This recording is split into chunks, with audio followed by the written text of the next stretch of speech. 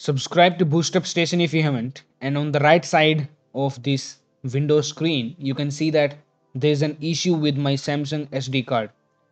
Tap to fix the problem. And if I click on it, it will be showing me to format this SD card. This SD card is corrupted. Such kind of problem. And it wants me to format the SD card. You can see this option here. But I don't want to format my SD card. I want to solve this problem without any data loss. And let us fix our memory card now. Click on cancel from here. And what you have to do is take out your memory card out of the Android mobile and connect it to your Windows machine. It can be any. So the fix works for all of the Windows versions. So I am taking it out right now you can see on the screen the sim cards are gone the network is gone and the sd card problem is also gone because i have removed the sd card now.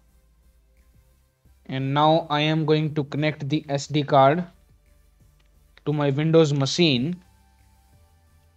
You can use an sd card adapter or usb card reader whichever you have so I have just connected and it shows me there is a problem with this drive. Scan the drive now and fix it. Click on this. You have to click on this option and it shows you this kind of prompt. You can see that my SD card is 512 GB in size. And if it doesn't show you such kind of notification on the right side, like to fix the problem, what you can do is right click on the SD card that you have connected click on properties now go to tools and click on the first option error checking click on check. Now you have to click on repair drive. It will not delete your data. So your data will be safe. Let it scan and repair the drive. Just wait for it to finish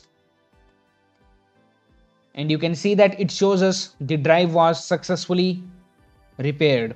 Now click on close and click on OK from here. Now right click and eject the SD card, eject.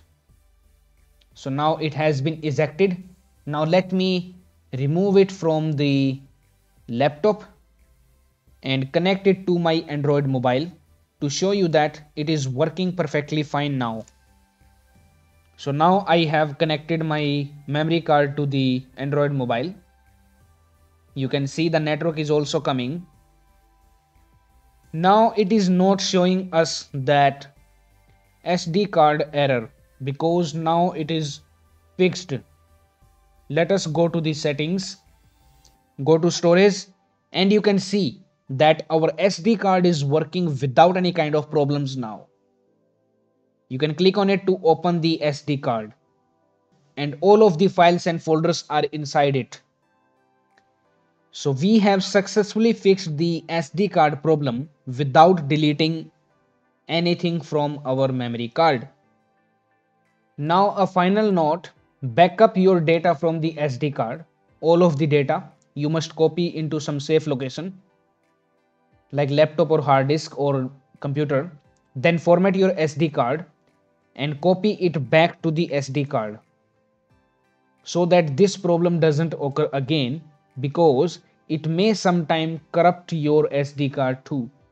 In that case, you will lose your data.